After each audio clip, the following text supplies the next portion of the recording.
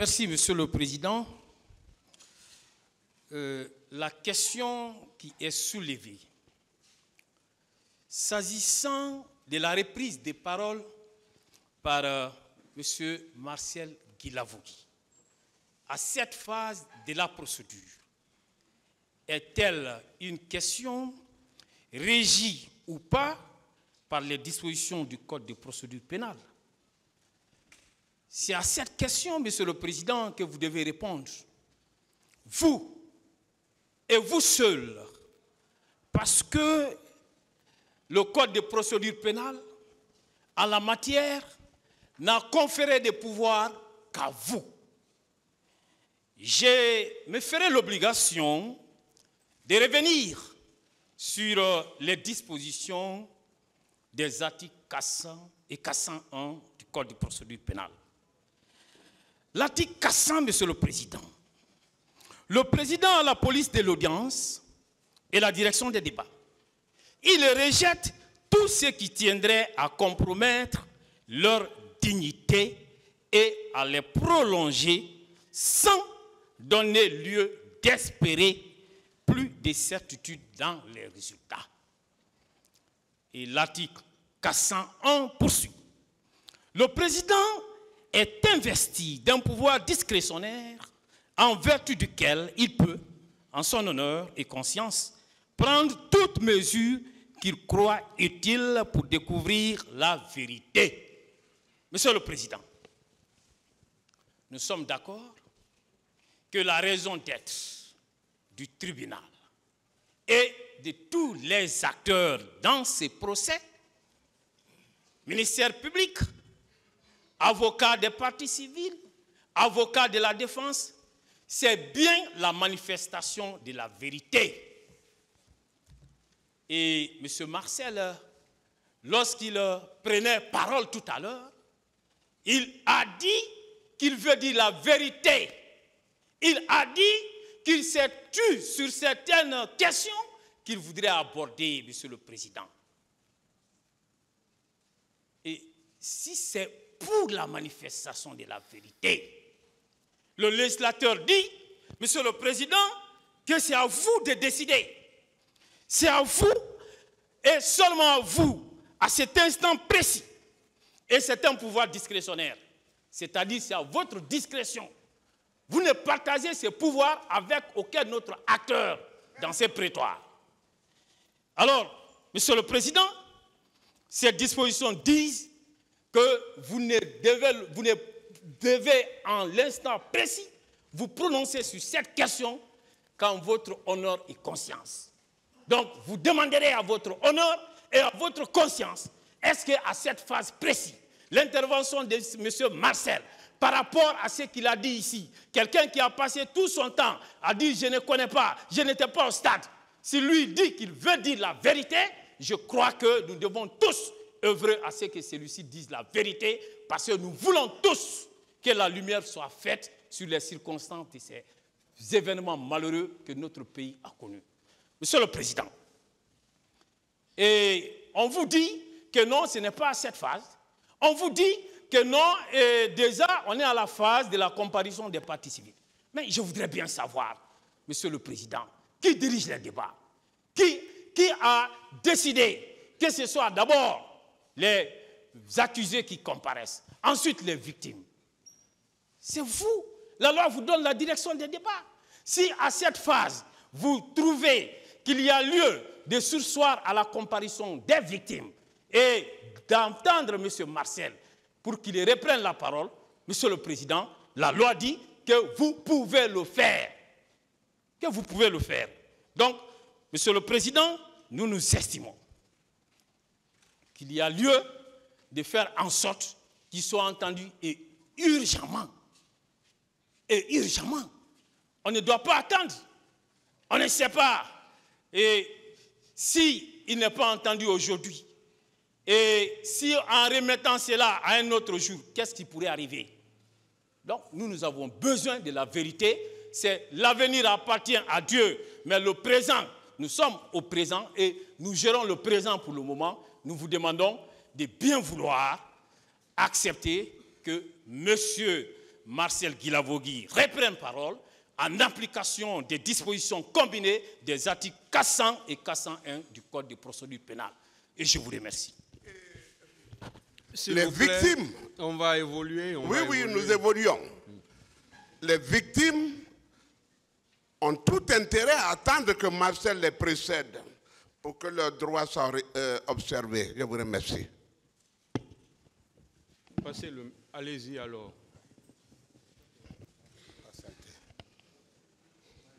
Merci, Monsieur le Président. Je crois que nous sommes par devant votre tribunal pour des faits sérieux.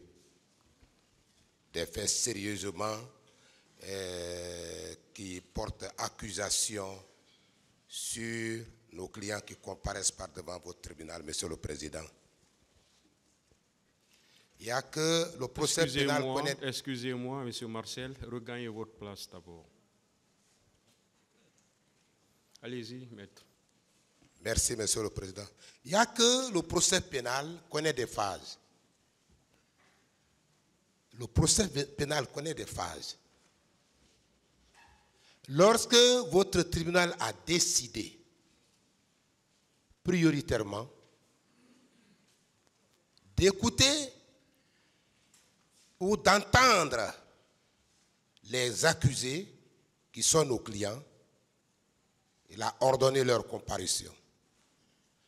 Chacun des accusés a comparu par devant votre tribunal. Le tribunal a posé des questions. Le procureur a posé également des questions. Les avocats de la partie civile et les avocats de la défense. Chaque accusé c'est d'abord donner le temps. Vous-même, Monsieur le Président, vous avez donné le temps surtout la possibilité à nos différents clients, euh, clients qui ont comparu par devant votre tribunal d'exposer, de donner leur version des faits. Nous estimons que la vérité a été dite ici à cette barre. Chaque accusé a donné des explications. Comme disait mon confrère qui m'a précédé, M. Marcel a soutenu à cette barre, Monsieur le Président, n'avoir jamais été au stade. C'était sa vérité à lui.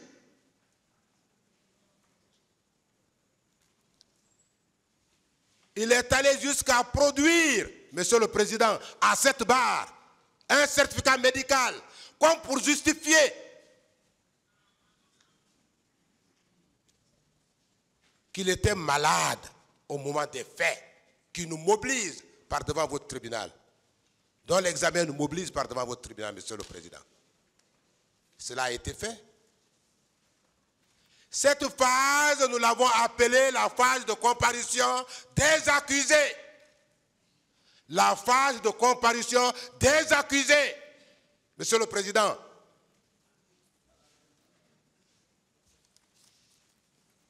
je ne parle pas de ceux qui viennent de commencer le procès pénal, qui n'en ont pas l'habitude. Nous qui en avons l'habitude, nous savons bien que le procès pénal connaît des phases. Et ici, par devant votre tribunal, Monsieur le Président, cette première phase était la comparution effective des accusés.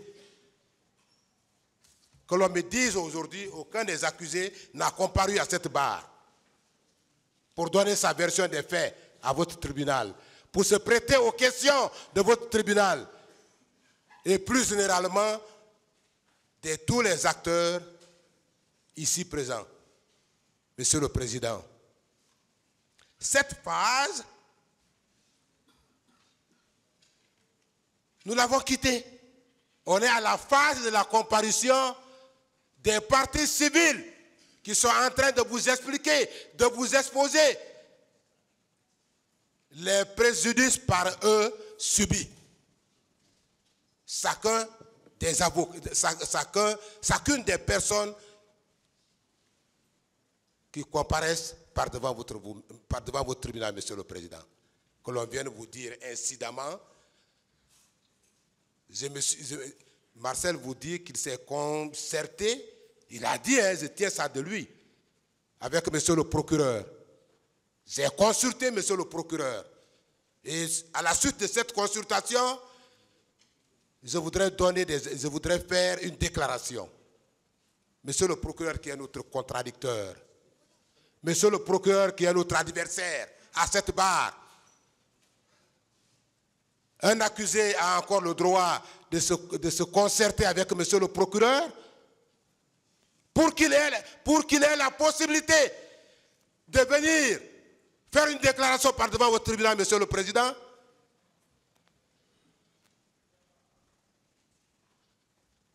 Après, on vous dit qu'en application des dispositions combinées des articles 400 et 401, Monsieur le Président, en se référant à cette, cette disposition de l'article 400, personne ne vous nie le pouvoir que vous avez en ce qui concerne la direction, la direction des débats. Qui peut vous nier ça? C'est la loi qui l'admet. Nous sommes d'accord, nous sommes unanimes que la loi l'admet. S'il vous plaît, calmez-vous. Nous sommes d'accord, Monsieur le Président. Mais cet impérium est limité par la loi. C'est vrai, dans cette salle, après Dieu se boue dans cette salle, Monsieur le Président. Ça, c'est connu de tous. Après Dieu, dans cette salle, se boue. Mais on ne doit pas se servir de cette éventualité pour vous induire en erreur. Monsieur le Président, nous autres acteurs du procès pénal, de la défense, de la partie civile et même du parquet, nous devons vous aider à dire le droit et non pas vous induire en erreur comme ils veulent l'entreprendre. Maintenant, nous allons nous opposer à cette manière d'induire votre tribunal en erreur, Monsieur le Président. Vous avez commencé à auditionner les parties civiles. Nous avons estimé que l'interrogatoire des accusés était déjà fini. Et que, à la phase actuelle du procès, Monsieur le Président, c'est l'audition des parties civiles. Après cette phase, Monsieur le Président, ce sera les témoins, la phase de la comparution des témoins pour leur déposition, Monsieur le Président. La phase de la comparution des témoins pour leur déposition à cette barre. On vous dit non, Monsieur le Président, c'est vous qui avez la police de l'audience. Mais après tout, on ne parlera pas d'eux. Après tout, on ne parlera pas du ministère public. On ne parlera pas de la défense. On ne parlera pas de la partie civile, mais on parlera de votre tribunal. Vous êtes en train de juger et le peuple aussi est en train de vous juger, Monsieur le Président. C'est ça la vérité. C'est ça la vérité.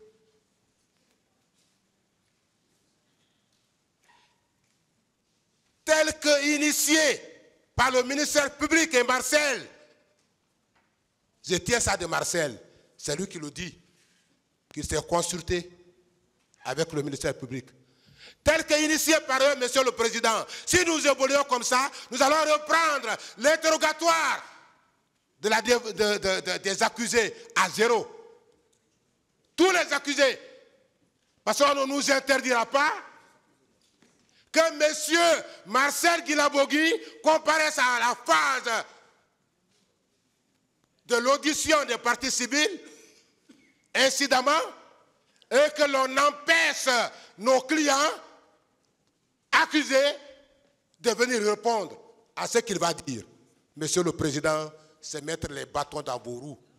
Mais je sais que vous êtes très prudent. Dans cette salle, vous êtes le plus intelligent.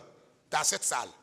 Parce que la vérité qui sortira de votre bouche, c'est cette vérité que le peuple retiendra. Parce que c'est cette vérité qui sera la vraie version. Parce que c'est cette vérité qui sera exécutoire. N'acceptez pas, Monsieur le Président, que l'on vous, dise, qu'on- vous conduise en erreur. Parce que maintenant là, lorsque M. Marcel Guinabogui va dire un seul mot ici, tous les accusés qui sont là reviendront tous répondre à ce mot. Monsieur le Président, au lieu d'aller de l'avant, nous ferons un pas en arrière. Êtes-vous prêt à un tel jeu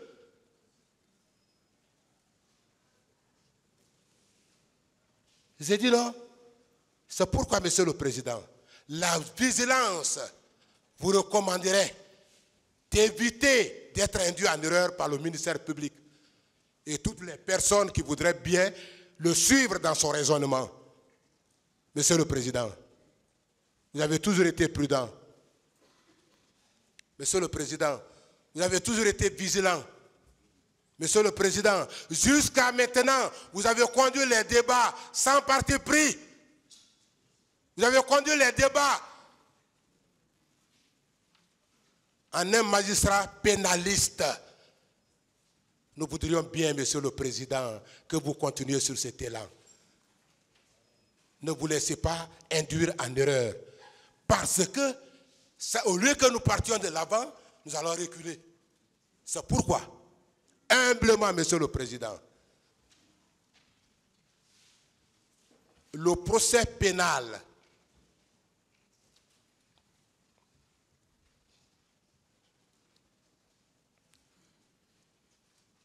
étant soumis à des phases que nous venons d'énumérer, Monsieur le Président, la phase de l'interrogatoire, la phase de l'audition des parties civiles, la phase de déposition des témoins et la phase de la confrontation, Monsieur le Président, nous sollicitons humblement qu'il vous plaise, rejeter cette demande. Si Marcel doit faire des déclarations, ce sera après, certainement, après, certainement, l'audition des parties civiles, la déposition des témoins, il pourra éventuellement, s'il y a lieu, et seulement sur la décision que vous allez entreprendre, prendre la parole. D'aucuns vous diront, Monsieur le Président, d'aucuns vous diront que nous sommes en train d'empêcher la comparution de Marcel parce qu'ils ne connaissent pas le procès pénal. Mais ceux qui connaissent le procès pénal, ils savent bien, Monsieur le Président, que oui, Monsieur Marcel a eu la possibilité de se défendre, il a eu la possibilité de faire des déclarations, il a eu la, possibilité de vous dire tout ce qu'il devrait dire. Mais on ne peut pas empêcher le cours normal du procès pour revenir en arrière, comme s'il était absent. Parce que simplement, certains sont derrière. Je voudrais humblement, Monsieur le Président, vous, vous euh, solliciter de, votre tribunal le rejet d'une telle demande, ou tout au moins sursoir à, à- l'interrogatoire de, de Marcel jusqu'à la fin de la déposition des témoins. Et je vous remercie, Monsieur le Président.